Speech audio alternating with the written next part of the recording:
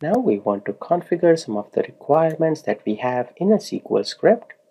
Like we want to make this ID column an identity column, which will be the primary key of this table. In order to do that, we have a data annotation or an attribute known as key. If you enter that, you notice the red squiggly lines. If you hover on that, it will display an error that key attribute could not be found. That is because we have to add a using statement. So you need to make sure your keyboard is on the key and then if you press Ctrl dot, it will display that you can add using statement to resolve this. So we will press enter, that will add the using statement which has the data annotation that we want.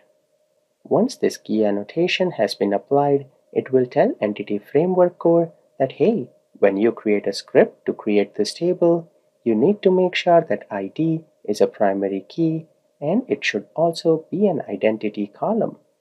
It does all the configuration and talking by itself. We just need to write one attribute and everything will be done for us. Pretty simple, right? The next thing that we wanted to do is we want to make sure that name is a required property. So here we have another attribute which is required. Once you assign that, when it creates the script, it will make sure that name is not a nullable property. Now we have talked about these two, but there are more annotations that you can do for validation. With this in place, the initial iteration of our model looks good. How do we create that in our database now? Let's take a look at that in the next video.